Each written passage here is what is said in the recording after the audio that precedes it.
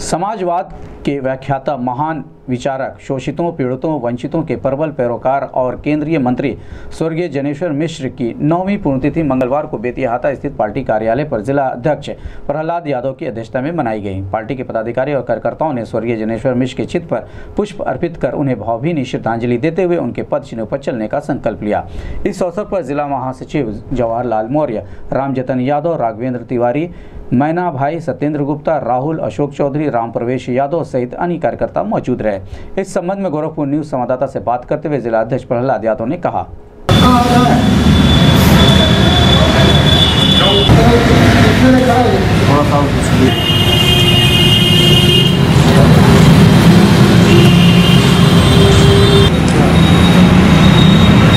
भैया थोड़ा सा।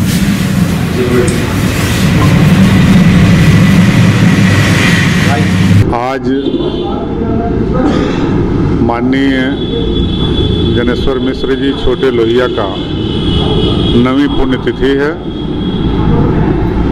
छोटे लोहिया साहब समाजवादी पार्टी के बहुत बड़े नेता थे। और आज हमारे माननीय राष्ट्रीय अध्यक्ष, उन्हीं के सदारत में राजनीति के गुर सीखे। और माननीय छोटे लोहिया जी समाजवादी पार्टी के विचारों को डॉक्टर लोहिया के विचारों को यहाँ तक पहुँचाने में तमाम काम किए और इसीलिए समाजवादी पार्टी ने एक बहुत बड़ा पार्क, जो एशिया का बहुत बड़ा पार्क कहा जाता है, लखनऊ में माननीय जनेश्वर मिश्र जी के नाम पर बनवाया है। उनकी स्मृति में आज पूरे देश में, प्रदेश में माननीय छोटे लोहिया जनेश्वर मिश्र जी का पुण्यतिथि मनाया जा रहा है। हम उनके दूसरी पीढ़ी के लोग हैं।